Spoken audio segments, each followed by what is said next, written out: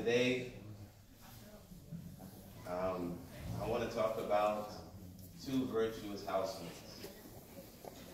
And these are two households that Allah subhanahu wa ta'ala has expressed His divine approval for in the Quran. And these two households, they are similar in their lineage.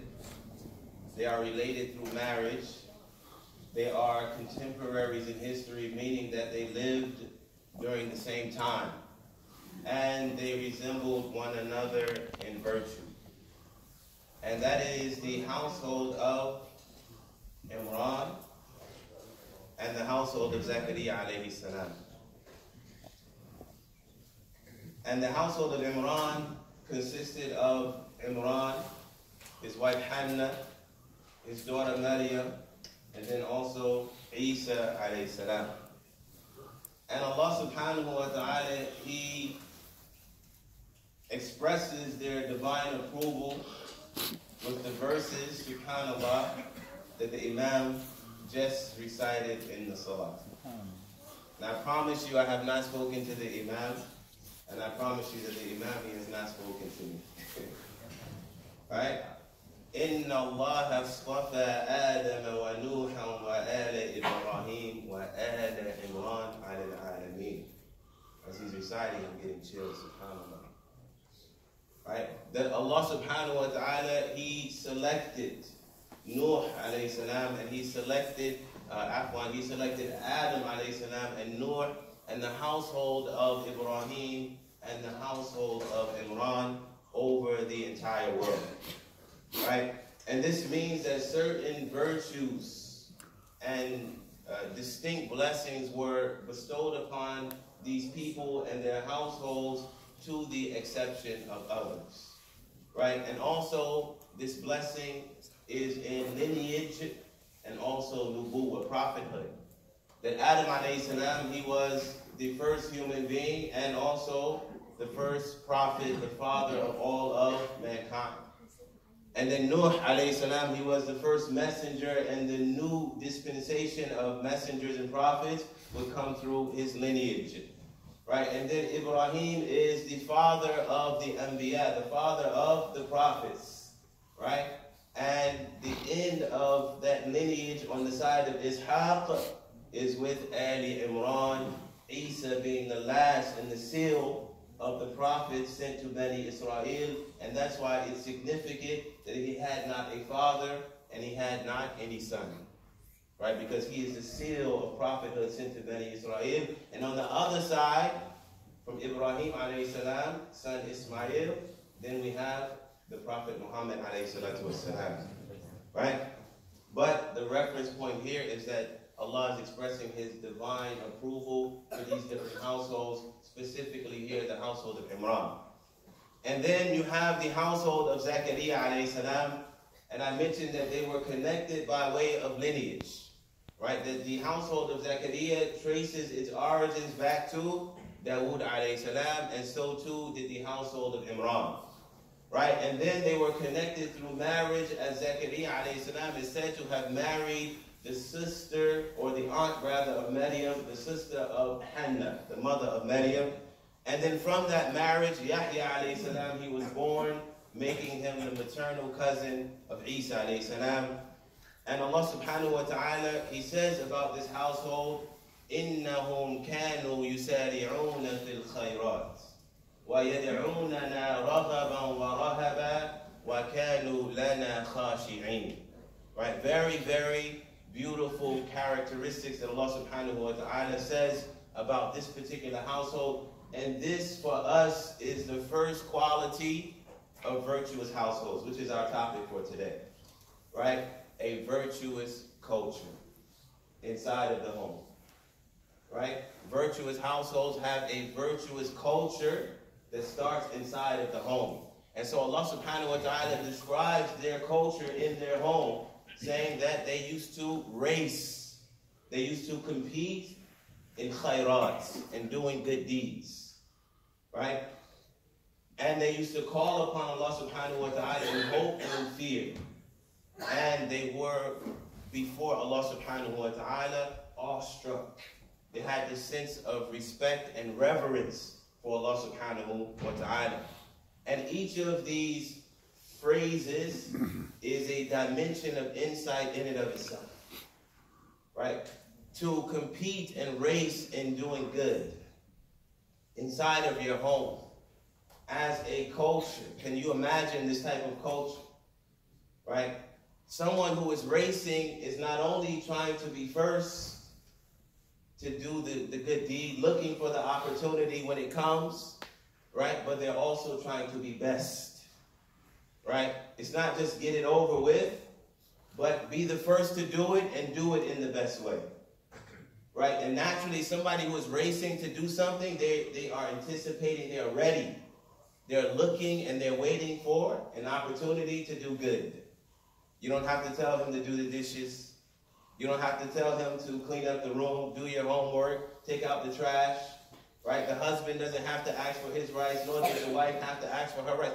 Everybody is looking for that opportunity to do good, right? So you can imagine the environment inside of the home when everybody is trying to do good and competing, right? And naturally, this would encourage, right, everyone else to do more good. I can't let so-and-so beat me. Right? And we saw this also in our companions. They used to compete to be first Right? We know that Omar, radiallahu ta'ala anhu, and Abu Bakr, they always used to compete. Right? And, and Omar, he would just want to, you know, one time. let me win one time. Right? Competing with one another and doing good. Right? So this is the culture inside of their home. And then وَيَدْعُونَنَا رَغَبًا وَرَهَبًا And they used to call upon Allah in hope and in fear. And oftentimes when we think about this characteristic, calling upon Allah subhanahu wa ta'ala in hope and in fear, automatically the meaning that comes into our mind is that it is out of fear of Allah that we're calling upon Him. And it is out of hope in Allah that we're calling upon Him.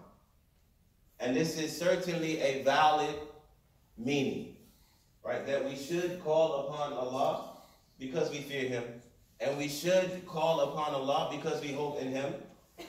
This is a valid meaning, but this is not the entire comprehensive meaning, right? This would also include our worldly fears, our worldly concerns, as well as our worldly hopes, right? And our worldly ambitions and our dreams. Right? And this is why Zechariah said, inni. Right? That I fear this has many translations as we'll discuss, right? For my dependents is one of the translations, or for those who will be in charge after me. Right? He's not expressing his fear of Allah, but in fact, he's expressing a worldly fear. Right? So when we talk about calling upon Allah subhanahu wa ta'ala in fear and in hope, this also includes our worldly ambitions and concerns. Our concerns over our children. Where's the first place that we turn when we have that, that concern for our children? We turn to Allah subhanahu wa ta'ala. Right? Or we, we hope for them good, that they'll have good friends, that they'll have a good environment, that they'll have a good life and a good end, and of course, a good hereafter. Where's the first place that we turn to express those hopes? We turn to Allah subhanahu wa ta'ala. Right? So this means that they were in constant communication with Allah subhanahu wa ta'ala. And this for us as parents is something that we have to actively instill in our children. That when they come to us like Yusuf came to his father, alayhi salam, with their dreams, with their visions, with their ambitions, we have to turn their hearts to Allah subhanahu wa ta'ala. Right? Just as his father said that Allah is going to bless you just like he but he turned his heart towards Allah subhanahu wa ta'ala. Right? And we find this in the sunnah of the Prophet wasalam. This was also from his tarbiyah that he would turn the hearts of the young people to Allah subhanahu wa ta'ala. So one time he was, uh, uh, Ibn Abbas reports this narration. He says, Ya ghulam, oh young boy, Right? This is a very extended narration, but from it he said, وَإِذَا سَأَلْتَ فَاسْأَلِ اللَّهِ That whenever you ask, then you should ask Allah subhanahu wa ta'ala. When you have hopes, when you have dreams, when you have concerns, when you have fears, وَإِذَا سَأَلْتَ فَاسْأَلِ اللَّهِ Right? Then you should turn to Allah subhanahu wa ta'ala in that situation. وَإِذَا اسْتَعَنْتَ فَاسْتَعِنْ بِاللَّهِ And when you seek assistance, then you should seek assistance from Allah subhanahu wa ta'ala. Right? And then the last characteristic, وَكَانُوا That this household, from their virtue, is that they were awestruck by Allah subhanahu wa ta'ala. They had a sense of reverence and awe and respect for Allah subhanahu wa ta'ala. And this characteristic, khushu, this is something that we associate mainly with what? Salah. But I ask you, if you don't have khushu, reverence and awe of Allah subhanahu wa ta'ala in your regular day-to-day life, do you think you're going to show up to the salah and turn on the switch of khushu and have khushu in your salah? Right? Khushu is not an, something that is limited to the prayer. This state of awe and reverence and, and, and, and uh, respect of Allah subhanahu wa ta'ala is something that should encompass our entire lives. Right? And unfortunately, in our times, we have certain habits and characteristics that would work against the development of our khushu', this quality of awe and reverence. One thing is using the name of Allah subhanahu wa ta'ala in vain. Right? This is especially prevalent in Eastern cultures. Um, I'm not sure how it is in uh, the Desi community, right? But in the Arab community, we find that the youth are using the name of Allah subhanahu wa ta'ala without the, the necessary ta'aleem that they should have of the name of Allah subhanahu wa ta'ala, using it to swear in vain, using it very, very casually, swearing over things that aren't really you know, befitting of the majesty of Allah subhanahu wa ta'ala, i.e. video games, i.e. you know, what's happening in the entertainment. These are not conversations where we should be using the name of Allah subhanahu wa ta'ala while swearing. That makes sense? Right? And so these subtle things actually reduce the, the level of awe and reverence in our hearts, whether consciously or subconsciously, by using the name of Allah subhanahu wa ta'ala in vain, right? So we want to be mindful in our speech that we maintain the proper reverence of the name of Allah subhanahu wa ta'ala at all times, right? Respecting the Quran and all of these type of things, this will create that sense of awe and reverence and respect inside the household, right? And vice versa. Now, every household has its culture, right? Staple qualities and, and customs and traditions that that household, that family, it will be known by. Right? Some families, you know, they really focus on akhlaq, right? Character and, and manners. And this is a quality that, that that family would be known by in the community. Right? Other families, they are, you know, uh, so into the Quran. You know, three, four, in one household. Right? How did that happen? Because there was a culture that was established in the household that would actually promote that. Right? Just as we have uh, people who are academics, right? Five doctors in one household, right? Because that was the culture that was established in that household, right? And culture has a very, very profound effect on the human being, especially the culture that you inherit at a young age, right? It is something that is very, very hard to break free from. And that can be a good thing if the culture is good in the household, but that can also be a negative thing if the culture is a, a negative culture. Right? Some families, right, they struggle with certain types of vice. You know, backbiting or or slander or israf, extravagance, right? Different types of and sometimes we don't think that the youth are watching or that they are listening, right? but they are listening and they are watching, and even in their subconscious, they are absorbing all of this information, everything that is happening around them, until we see it showing up in their own character, in their own actions. Right? And beautiful example from the Quran is the mother of Maryam, Hannah, and Maryam herself. Right? It is no coincidence that we find the mother of Maryam seeking refuge with Allah on behalf of her offspring. Right? She's seeking refuge. This is from her qualities with Allah subhanahu wa ta'ala. What happens when the angel Jibril appears to Maryam in the form of a, a, a handsome man? Right? Instantly, she seeks refuge right? إني إني أعوذ بالرحمن منك إن كنت تقيا. Right? Immediately she sought refuge with Allah subhanahu wa ta'ala. She inherited that quality perhaps from her mother.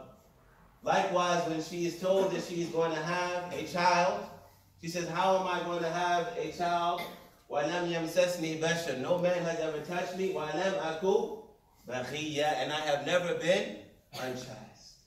Right? Fast forward when she brings the child in front of her people, they say what?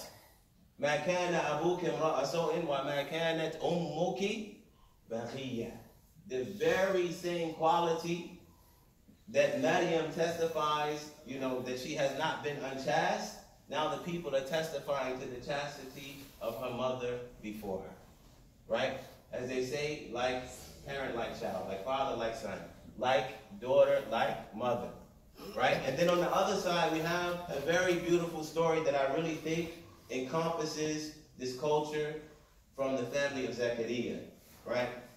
That one day, Yahya alayhi salam, or not one day, actually, three days he got missing. Nobody can find Yahya, this young boy, for three days. So Zechariah, his father, and this is recorded in Ibn Kathir's uh, and Nabiyin, the stories of the prophets, right? Zechariah is now worried. And he's looking here and there, he's asking, he's searching, right? Three days missing, where's my son? What has happened to my son? Right?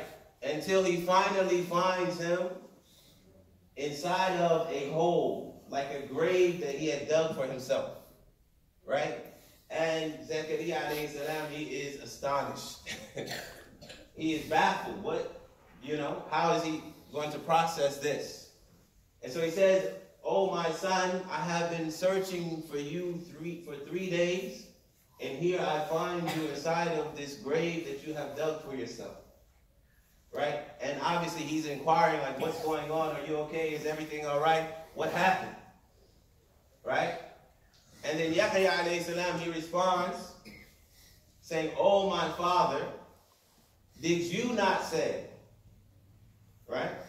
We don't think they're listening. We don't know how they're going to interpret the information that we're actually passing on to them. Did you not say that between paradise and the hellfire is a bridge that can only be crossed by the tears of those who weep?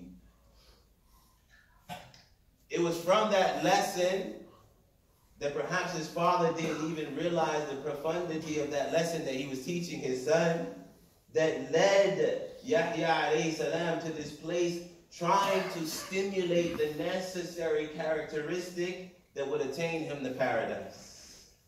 Right? إِنَّهُمْ كَانُوا يُسَارِعُونَ فِي الْخَيْرَاتِ They used to compete and race in doing good. وَيَدْعُونَنَا رَغَبًا وَرَهَبًا And they used to call upon Allah subhanahu wa ta'ala in hope and in fear. وَكَانُوا لَنَا خَاشِعِينَ And they were awestruck by Allah subhanahu wa ta'ala. And Zechariah alayhi salam, he tells his son, once he hears why, his reason, he tells him to continue to weep. And he doesn't stop there. He gets down inside with him and he cries alongside of his son. Right? This is the type of virtuous culture that is extinct in our time. right? And I'm not asking anybody to go dig any graves, right? but to take the lesson, right? To build, actively build that culture of righteousness in your home, right? What time should I end, inshallah? Yeah, a lot of time. You have a lot of time. Okay, I have to leave at 7.30. That's the hat. That's the end. Perfect. Perfect, inshallah. Okay. Now, this culture, as I mentioned, it is a generational culture, passed down from generation to generation to generation. It didn't start with the mother of Maryam, nor did it start with the father of Yahya. Rather, it goes back even to Dawood alayhi salam. Remember I said in the beginning that both of these households, they trace their lineage back to Dawood alayhi salam. Right? And Dawood, as we know, he was known for his devotion. He was known for his prayer and his fasting. And the Prophet ﷺ, he testified to this when he said, أَحَبُّ الصَّلَاةِ إِلَى اللَّهِ صَلَاةُ دَاوُودِ That the most beloved prayer to Allah subhanahu wa ta'ala was the prayer of Dawood alayhi salam. وَأَحَبُّ الصِّيَامِ إِلَى اللَّهِ صِيَامُ دَاوُودِ And the most beloved fasting to Allah subhanahu wa ta'ala was the fasting of Dawood alayhi salam. Of course, this doesn't include the Prophet alayhi salam. Right? But he's testifying to the devotion of Dawood alayhi salam. And just as we find Dawood salam giving preference and precedence to a place called the mihrab. The mihrab is a place of spiritual retreat, a place carved out for devotion. In that time, it was like a chamber, right? A special chamber, not like the mihrab that we have now, which is a niche in the wall, but then it was a chamber, a room for private devotion, right? Just as we find Dawood salam giving precedence to that space, we also find his son Sulaiman salam doing the very same thing. And Allah subhanahu wa ta'ala, He says about Dawood, وَهَلْ أَتَاكَ نَبَأُ الْخَصْمِ إِذْ تَسَوَّرُوا الْمِحْرَابِ إِذْ دَخَلُوا عَلَى دَاوُودَ فَفَزِعَ مِنْهُ Right? Did you hear the account of the disputants when they climbed over into the mihrab? until they entered upon Dawood alayhi salam and he became startled at their presence. Why do you think they went looking in the mihrab? Because this was a place that Dawood alayhi salam was known to frequent. They knew that they would find him there.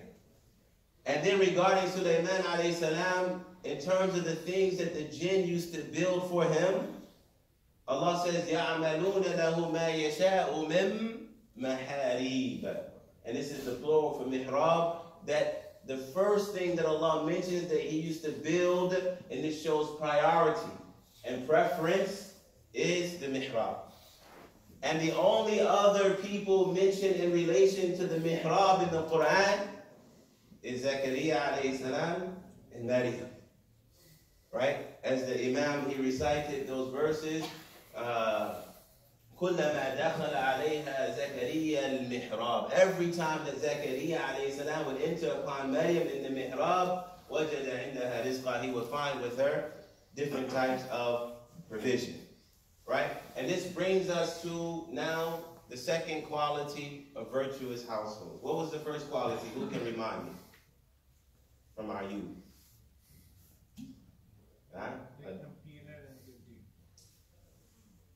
That was encompassed in one expression, a virtuous culture. Who said it? MashaAllah. Right? Virtuous culture, including what you said, that entire verse, inside of the household.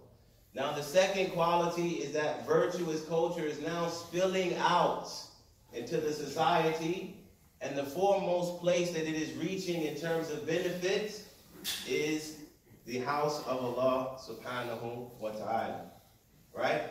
Dawood alayhi salam, Sulaiman alayhi salam, all in the service of the house of Allah subhanahu wa ta'ala. In fact, the concern of the mother of Maryam for the service of Allah's house was so deep that even before the child was born, she said, Rabbi inni nadartu laka ma fi batni muharrara.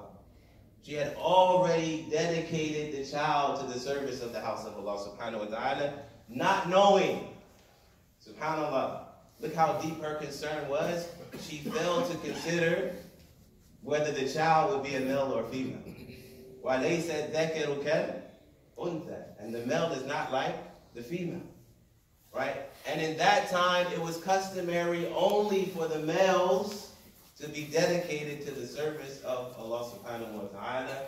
And in this case, Allah made a special concession for Maryam, and they gave her the mihrab, a special chamber for her devotion, right inside of the house of Allah subhanahu wa ta'ala.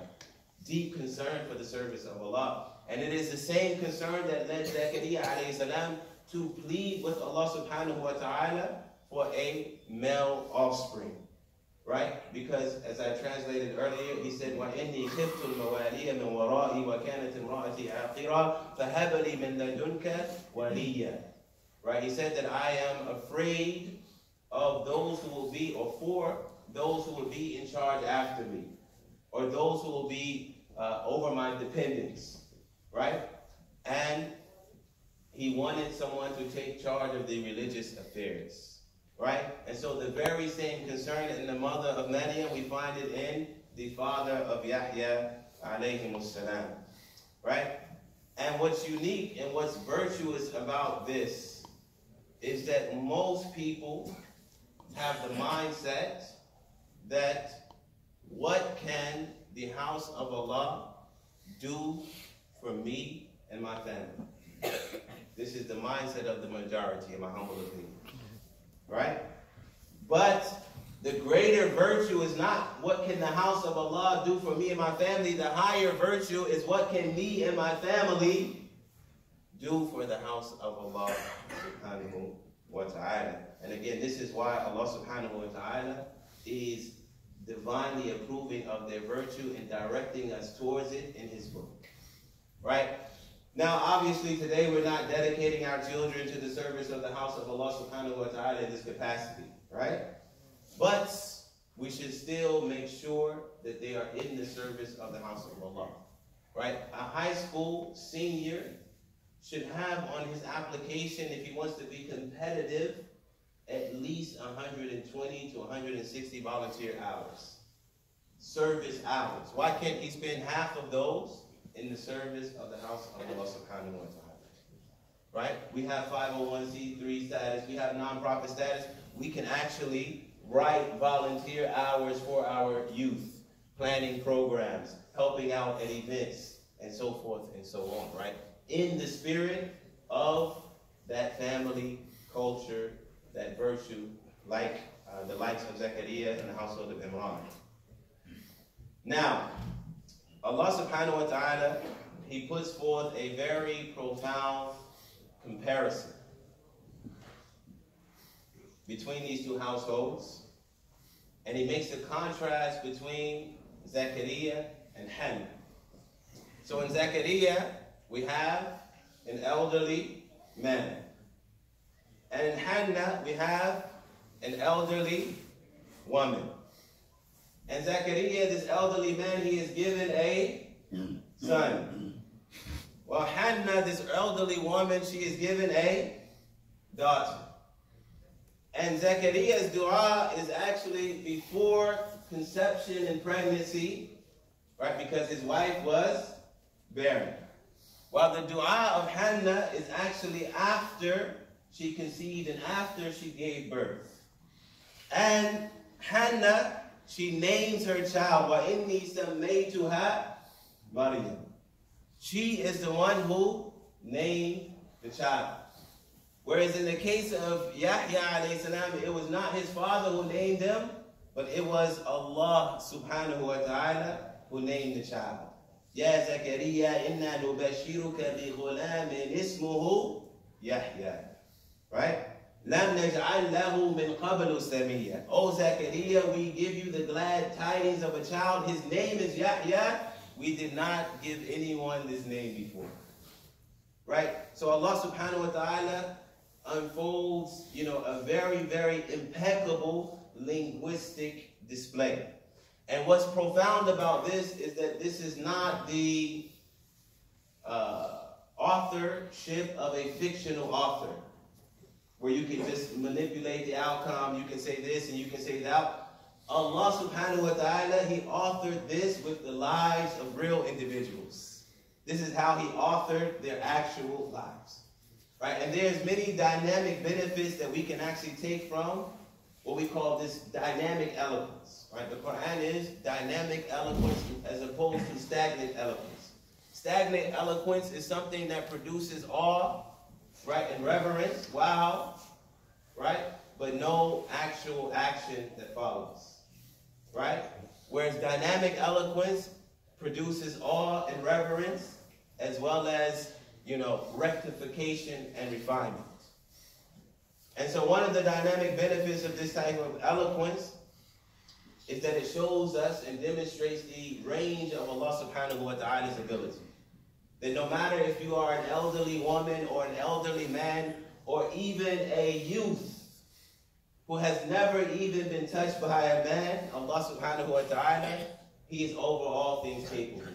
Allah subhanahu wa ta'ala, he is the source of life Right? Young, old, male, female, prophet, not a prophet, Allah subhanahu wa ta'ala, He can make amazing things happen for you.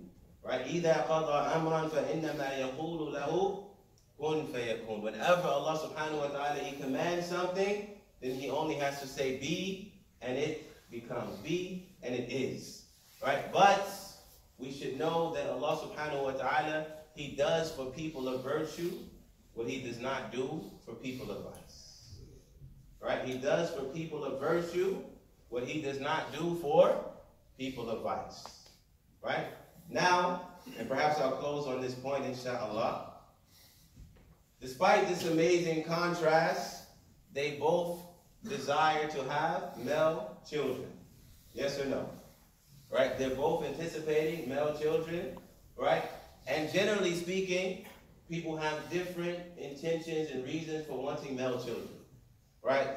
Uh, to carry on the family name in terms of lineage, right? This is why some of the uh, polytheists, the mushrikeen, they used to criticize the Prophet والسلام, because he, all of his male offspring uh, passed away before him, right? And they used to criticize him before that. So some people, they want to have their lineage in their name.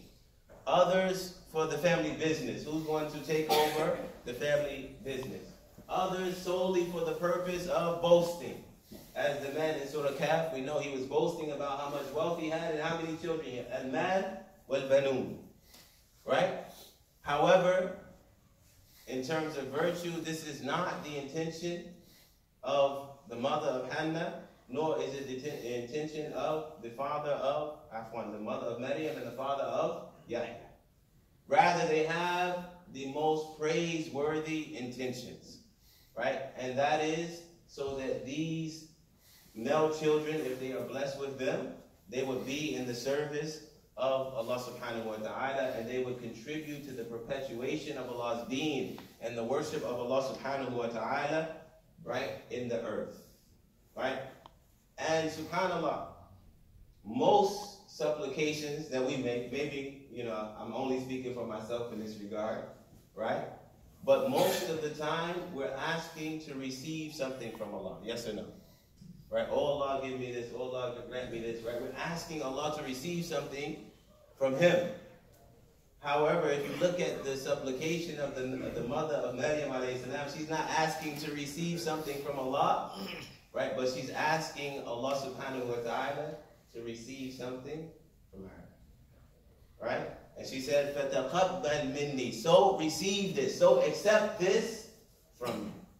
Right? And so this is a supplication of the highest degree. Not asking, but actually offering. Knowing that Allah subhanahu wa ta'ala, you could never truly repay him, but at least allow me an opportunity to express my gratitude and to do something you know, that would be acceptable in your eyes, Ya right? This is the expression, and this is the highest caliber of supplication. And I won't have time to close entirely, but I'll mention two powerful du'as. And these are two, in my opinion, of the most amazing supplications in the Quran. right? We have the supplication of Hannah. Perhaps it's all we get through. And then we have the supplication of Zechariah, which is really a model, a model for getting your supplications answered. But I don't think we'll have time for that.